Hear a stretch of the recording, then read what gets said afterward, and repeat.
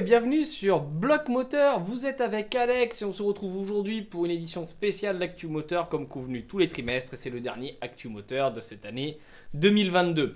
Alors, vous êtes quelques-uns à être très intéressés par le projet Passat qui sort toutes les semaines. Mais planning obligatoire, rendez-vous calé oblige. Aujourd'hui, c'est Actu Moteur. Et la fin de la Passat, c'est la semaine prochaine. Ne vous inquiétez pas. Et on va en parler plus tard. D'ailleurs, si vous aimez nos vidéos, pensez dès le début à liker, commenter, vous abonner, activer les notifications et à partager la chaîne avec vos amis. Voilà, donc on va faire un petit actu moteur simple, rapide, avec des petits thèmes vus. On a travaillé un petit peu nos sujets, je suis avec mes feuilles comme d'habitude.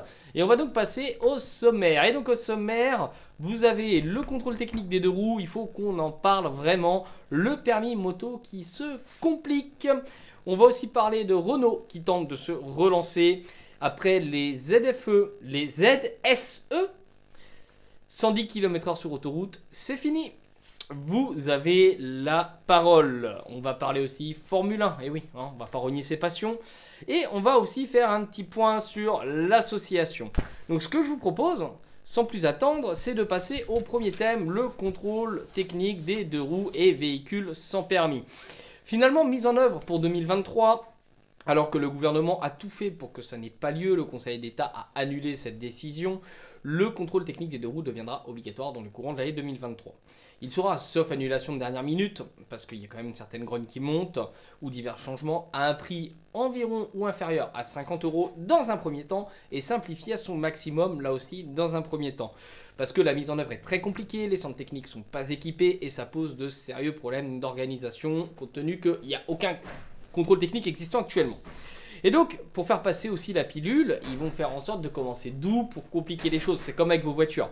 Vous commencez soft, au départ c'était pour la sécurité, et maintenant on vient vous saouler avec euh, de l'antipollution, euh, avec euh, de ah oui mais là la carrosserie elle n'est pas très bien alors que ça n'impacte rien la sécurité. Mais c'est ce qui va arriver pour les motos tôt ou tard. L'application commencerait donc d'abord par les plus anciennes grosses cylindrées avant de remonter aux plus récentes, puis ensuite aux 50 cm3 et on va pas se mentir, c'est ceux-là les plus gros circuits roulants. C'est les scooters, les 50, souvent modifiés, débridés, pas assurés, ou la carte grise pas à jour. C'est souvent les propriétaires les plus irresponsables qu'il y a sont en 50 cm3. Et aussi les véhicules sans permis. Il faut voir le paquet de cercueils roulants que j'ai vu rouler en véhicule sans permis. Donc là-dessus, ce sera peut-être pas mal.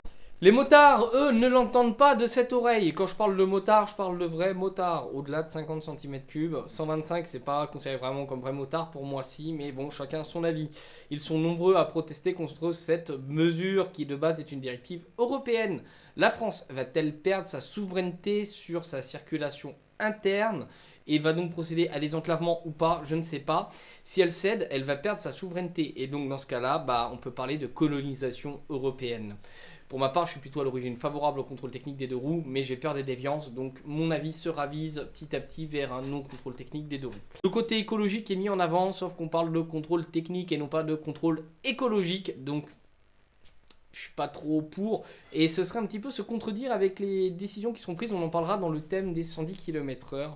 Le combat va être dur et long, parce que les deux parties, à la fois les motards qui sont en colère et les associations du lobbying minoritaire écologique, j'insiste bien sur minoritaire écologique, et le lobbying minoritaire de prévention routière, qui sont en fait tellement des grandes gueules qu'on les entend très bien, euh, eux ne l'entendent pas de cette oreille et comptent bien imposer ce contrôle technique.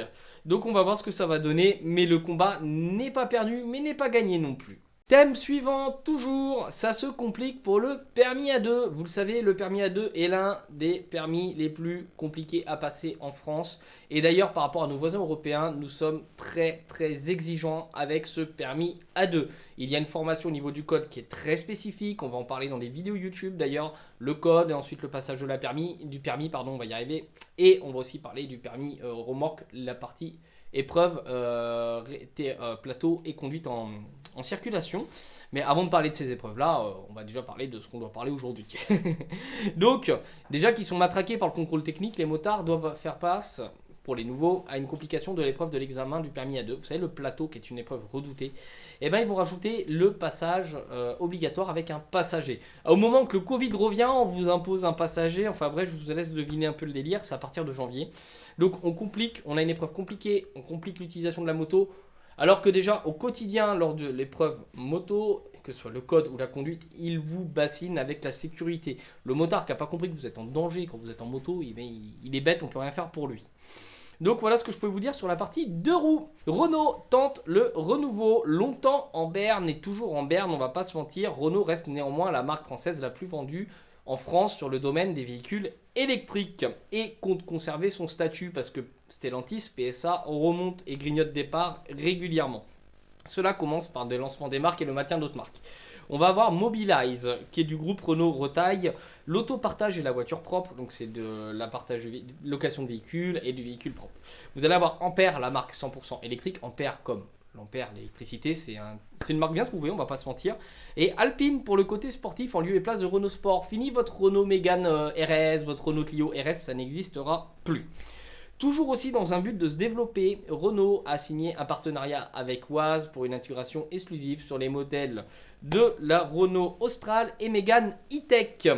L'objectif étant de pousser dans les spécialités, de se donner une image neuve, d'une image d'une marque qui change, l'image du renouveau.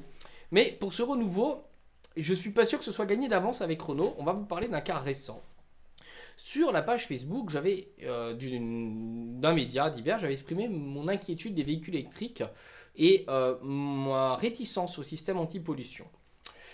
une personne répondant au nom d'Étienne Balmier, je le dis parce que c'est sur les réseaux publics, donc je peux le citer, m'a ouvertement dit Toi, va crever. je regarde son profil et il travaille chez Renault Retail Group à Caen très exactement, enfin travailler a priori. Euh, photo, profil prise à l'intérieur de son bureau, vous faites les recherches LinkedIn, vous trouvez sur son profil, enfin bref, la totale. Et ce mec-là m'a menacé, j'ai fait une, euh, un signalement à Renault qui a mis plusieurs mois à réagir et à apporter une réponse officielle. Au final, cet agent ne serait plus chez Renault Retail, mais on va faire notre enquête quand même, mine de rien, parce que je ne compte pas lâcher prise il est hors de question de se faire menacer gratuitement. La dernière personne qui l'avait fait, c'était euh, dans un restaurant, un serveur qui nous avait menacé au niveau de l'association. Aujourd'hui, cette personne pointe chez Popol Emploi. Après les ZFE, place au ZSE. Alors, c'est quoi ZSE C'est notre pure invention, zone sans électrons. C'est inspiré parce que du côté de la Suisse, ils parlent d'interdire les véhicules électriques en raison des pics de consommation d'électricité et de la pénurie d'électricité qui va certainement également toucher l'hexagone. C'est-à-dire qu'ils vont interdire la circulation ou la recharge de ces véhicules-là. D'ailleurs, RTE a fait savoir que, RTE, donc c'est réseau euh, de distribution d'électricité de France a fait savoir euh, d'électricité de France, excusez-moi, a fait savoir qu'ils vont procéder à des interdictions potentiellement si la situation devient tendue. Vous savez qu'en France, on a des risques de coupure. D'ailleurs, j'en profite. Faites attention à votre consommation d'énergie, tant pour votre porte-monnaie que pour le bien de tout le monde. Parce que si on a des coupures de courant, ça va pas être fou. Et donc, euh, ils vont sans doute interdire ce genre de véhicule. Voilà. Donc, c'est un petit peu comique. Est-ce qu'en France, on va vraiment avoir cette interdiction au niveau du gouvernement? Avec ce lobbying minoritaire écologique qui impose le véhicule électrique à tout va, à tout va et à tout va, notamment l'Europe, ah, la voiture électrique, voiture électrique, l'Europe qui veut nous bouffer aussi au niveau de notre souveraineté. Eh ben, on verra bien. Thème suivant, 110 km/h sur autoroute, c'est non. Le gouvernement l'a fait savoir, il n'y aura pas les 110 km/h sur autoroute, bien que vous avez beaucoup de portions à 110 contrairement au lobbying minoritaire écologique poussant dans ce sens avec insistance et accord favorable des médias manipulant les sondages pour dire que les Français sont favorables aux 110 km/h, ce qui n'est pas vrai, on en parlera après. Les éléments mis en avant étaient une réduction de la consommation et moins de pollution. L'association fera donc un essai comparatif à bord d'une voiture qui sera la Seat Ibiza pour comparer la menace reste néanmoins présente, le contrôle technique des deux roues ne devait pas avoir lieu finalement. N'oubliez pas par exemple que les fonctionnaires doivent rouler à 110 km/h, donc euh, les fonctionnaires avec leur véhicule de service. Hein. Euh, donc laissez-moi avoir un doute sur ce dossier. Vous avez la parole désormais sur notre partie communauté de YouTube. On va poster régulièrement des sondages. Et là on n'en a mis qu'un seul jusqu'à présent. Et je vous ai posé, c'est moi qui ai mis cette question. La, question à savoir, notamment pour les autoroutes françaises, si vous étiez pour les 110 km/h ou pour une autre vitesse. Et donc vous avez répondu à, c'est très étonnant, 67% à vouloir des vitesses illimitées.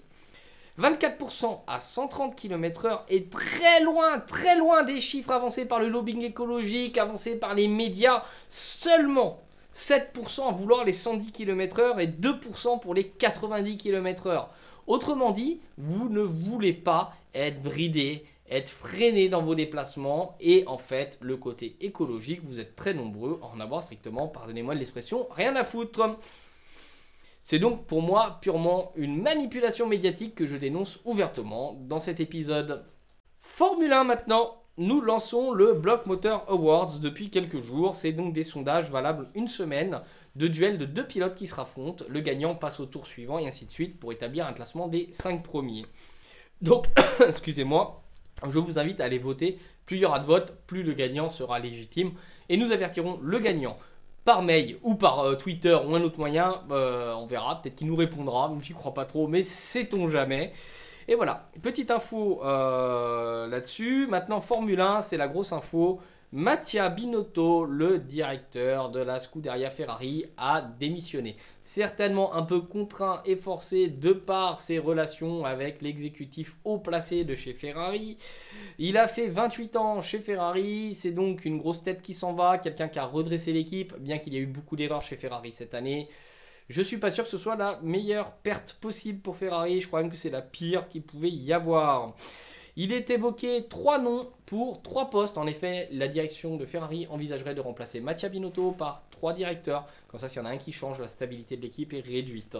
On aurait Frédéric Vasseur, qui viendrait donc de Alpha, groupe Ferrari. Laurent Miekies en interne propulse un peu plus haut. Mattia Binotto, on a vu ce que ça a donné. Et pourtant, Laurent Miekies est un très bon ingénieur. Je suis pas sûr que ce soit la meilleure option possible de le faire monter ou qu'ils. Et Gerhard Berger, un peu au rôle de consultant, au même titre que Niki Loda chez Mercedes à l'époque, qui pourrait arriver chez Ferrari. Lui qui a piloté, si je dis pas de bêtises, un peu chez les Rouges.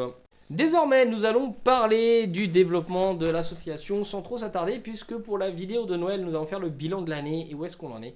Nous avons de nouveaux équipements, de nouveaux projets, et on aura hâte de vous présenter tout ça dans une prochaine vidéo qui aura lieu le 23 décembre. Et le 30, on parlera des projets pour 2023, bien entendu. Et on voulait profiter de cette occasion pour vous remercier d'être toujours aussi nombreux à regarder nos vidéos, à liker, à commenter, à partager. Nos statistiques du nombre d'heures de vues sont en hausse de façon permanente, bien que ça paraît pas en dessous dans les petits chiffres des vidéos, le nombre de vues est moins grand, mais vos vues sont de meilleure qualité et on voulait vous en remercier. On essaye toujours d'écouter ce que vous demandez, d'apporter toujours plus de qualité. C'était donc tout pour cet Actu Moteur qui n'a pas été si court que cela. On se retrouve très vite pour une prochaine vidéo, vendredi prochain, 17h avec la fin de la passate. D'ici là, je vous invite à prendre soin de vous, à, porter, à bien vous porter, à faire attention à l'électricité pour que l'on en est tous, parce que sinon on ne pourra plus tourner les vidéos, hein, les gars. Et on reste donc à bloc moteur